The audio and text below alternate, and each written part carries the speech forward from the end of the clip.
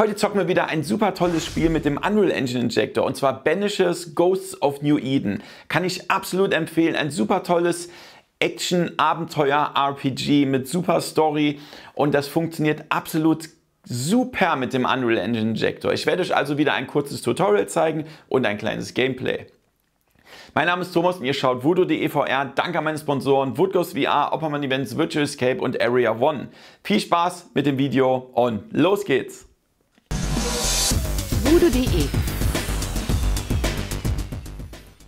So Leute, und bevor es losgeht, wie immer einmal kurz die Einstellungen, die ihr machen müsst. Also wie immer äh, müsst ihr natürlich erstmal die VR-Brille verbinden. Ich mache das wie immer mit Virtual Desktop. Also ihr müsst einmal die Virtual Desktop App auf der Quest jetzt hier in diesem Fall installieren und dann den Virtual Desktop Streamer auf dem PC. Dann einmal OpenXR äh, Runtime VDXR. Das spart euch nämlich SteamVR und die Oculus Software. Ne? Und dann äh, müsst ihr einmal das Spiel im Hintergrund aufmachen. Ihr seht, das ist schon offen. Ne? Also Banishers. Und dann müsst ihr den Unreal Engine Injector öffnen.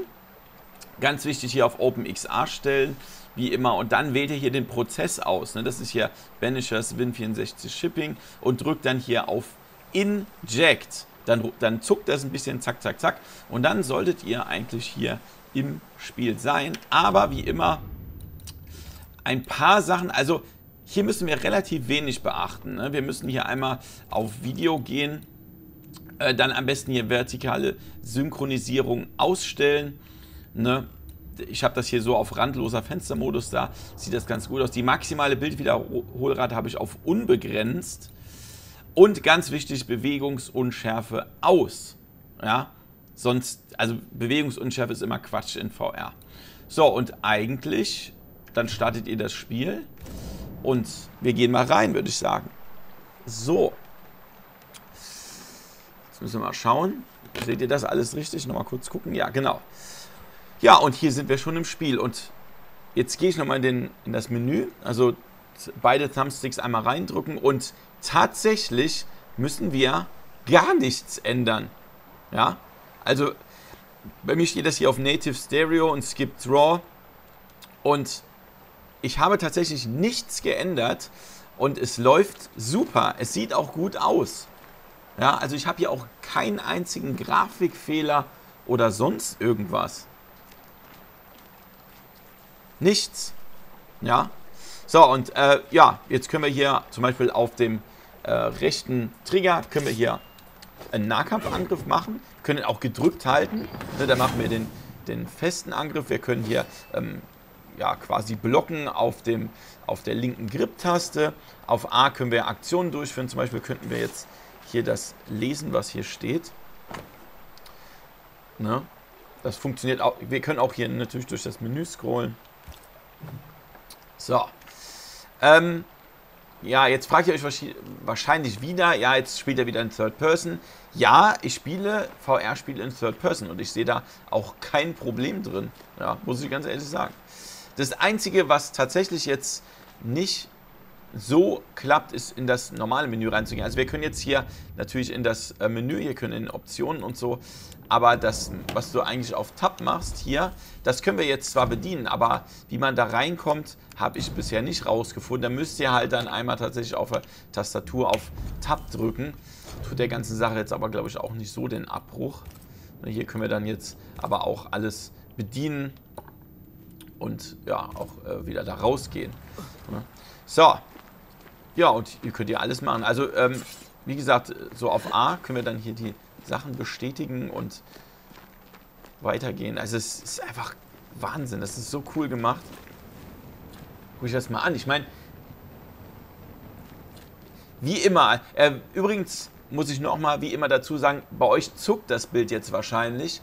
Äh, das sieht ganz komisch aus beim Zugucken auf den Videos, aber in meiner VR-Brille ist alles ganz ruhig und hier zuckt auch nichts. Ne? Das muss ich immer wieder dazu sagen. Leider ist das nur in den Videos vom Unreal Engine Injector so, dass das alles so komisch äh, ruckelt und zuckt. Und oh, guck mal, also wenn ich jetzt hier zum Beispiel diese, diese Fackel sehe, die steht hier in Lebensgröße vor mir ne? und mein Charakter auch. das ist einfach total super. Selbst das User Interface kannst du halt ohne Probleme ähm, lesen. Das kannst du aber auch noch in den Einstellungen, wie du willst, äh, anpassen. Und auch in den Einstellungen kann man wie immer auch die Kamera anpassen. Also wenn man jetzt unbedingt hier, ähm, sage ich mal, ne, ein bisschen näher noch ran will, äh, dann, dann kann man das hier auch machen. Ne? das geht auch. Jetzt sind wir zum Beispiel hier fast in der Ego-Perspektive schon. Ja, seht ihr das? Kann man, wenn man will, machen. Aber ich weiß nicht, also ich präferiere tatsächlich äh, diese Ansicht. Ne? Ich sehe da keine Probleme. Da hat irgendwas geblieben, glaube ich, hier. Ne? So, ne? Hier, da ist irgendwas. Leder.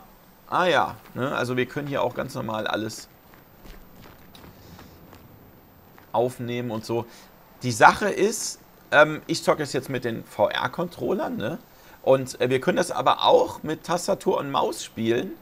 Ja, oder halt auch mit Gamepad. Also ich kann jetzt auch die Controller einfach weglegen.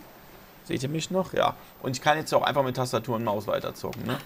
Äh, dann, jetzt weiß ich nur nicht, auf welcher Taste, aber auf E. Genau, auf E geht man hier hoch. So, jetzt zocke ich einfach mit der Maus, ja. das geht auch. Ne? Ah, noch mehr Wanderer. Zack. Guck mal, da ist unser Kollege schon. Hinter dir! Zack. Aber von denen habe ich auch schon gerade welche bekämpft. Ne? Und kann, ich kann jetzt hier einfach wieder auf die, auf die Controller äh, wechseln. Fotomodus. Ich will keinen Fotomodus jetzt. Ah, guck mal. Ist ja auch interessant. Wie kommt man da raus? Ich kann ah, keine okay. Kiste aufhalten. Ja, man kriegt hier am Anfang noch natürlich alles ein bisschen beigebracht und so, ist klar. Ey, weiß, übrigens mal abgesehen davon, dass das in VR geil Ob ist. Dass die ursprünglichen Siedler sind? Das verheißt jedenfalls Und dass das in Gutes. Deutsch ist, ist das Spiel halt auch einfach absolut geil, ne? Also es ist ein schönes Spiel. Wenn ihr viel auf Story oder so steht, ja, das ist ganz, ganz toll gemacht. Kann ich jedem empfehlen und du kannst es halt in VR super zocken. Also die Grafik ist auch wirklich gut und, und es läuft unfassbar flüssig, ja.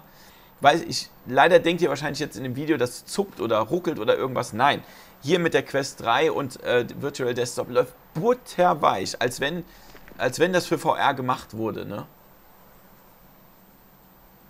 Geil, geil, geil, geil. So, jetzt können wir hier zum Beispiel den Trigger drücken. Zack, zack.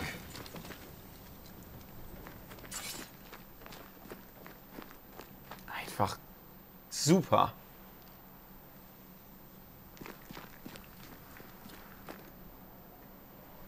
Oder was meint ihr? Absolut cool. Und das wirklich, also fast keine Einstellungen. Ne? Also im Engine Injector selbst, also hier drin, äh, musst du einfach gar nichts einstellen. Es läuft out of the box, nur halt in den Spielsettings also mal, ich, ihr könnt das natürlich selbst auch so lassen. Ihr könnt auch vertikale Synchronisation anlassen und den äh, Bewegungsunschärfe. Nur der, also ich mag es halt nicht, Bewegungsunschärfe in VR. Theoretisch müsst ihr eigentlich gar nichts ändern. Ne? Aber ich gebe euch halt immer so meine äh, ähm, Tipps, wie ich das einstellen würde, damit es halt schön angenehm auch ist.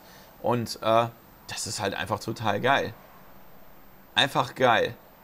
Ne? Und ja, wenn ihr Interesse an dem Spiel habt, gerne natürlich äh, in der Beschreibung findet ihr das alles. Auch mein allgemeines Tutorial zum Unreal Engine Injector und auch den Unreal Injector selber findet ihr in der Beschreibung. Und wie immer gerne schreibt mir in die Kommentare, welches Unreal Engine 4 oder 5 Spiel ihr auch gerne mal äh, vorgestellt haben wollt auf meinem Kanal hier. Ne?